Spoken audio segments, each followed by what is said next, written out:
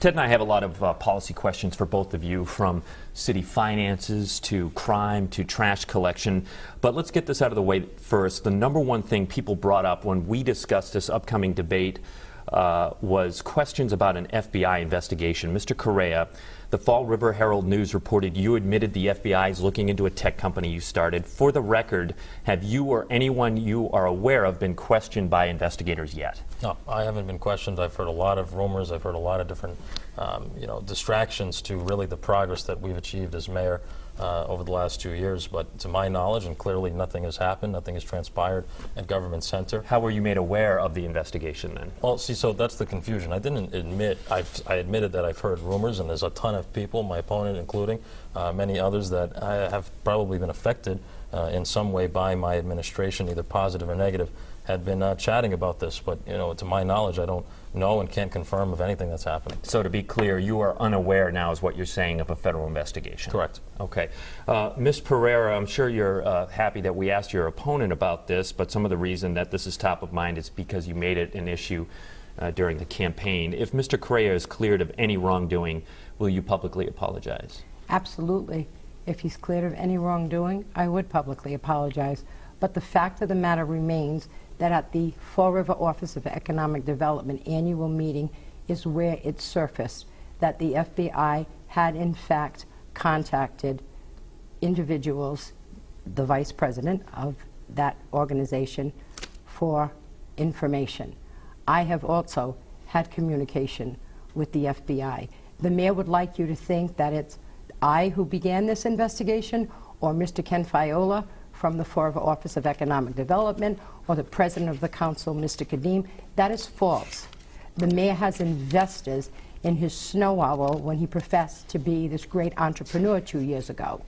And those investors haven't received their money back. They must have been the ones to go forward. But you can't do that.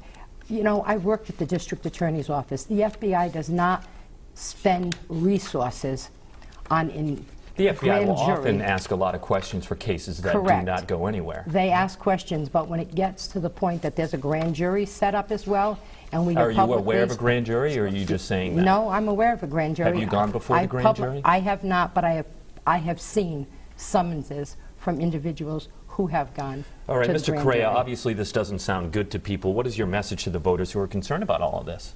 The message is uh, nothing has happened. Nobody can confirm any of this.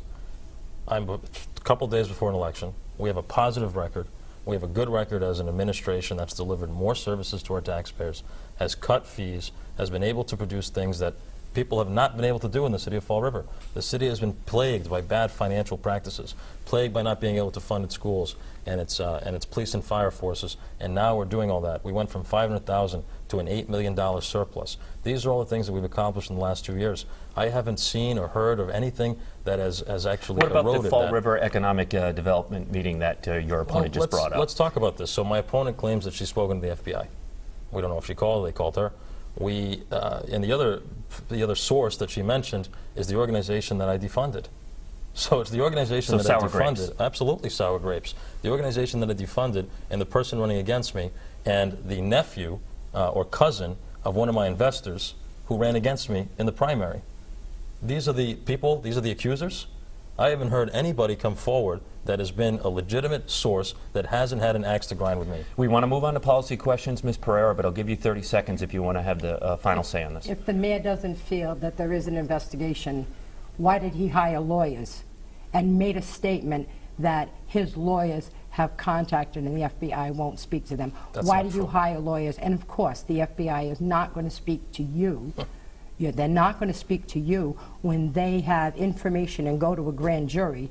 You're going to be the last one to know. They'll come and tell you when they've dotted their I's and crossed their T's, and it will happen. You can't start a business borrowing money from people and spending that money on other things except that business.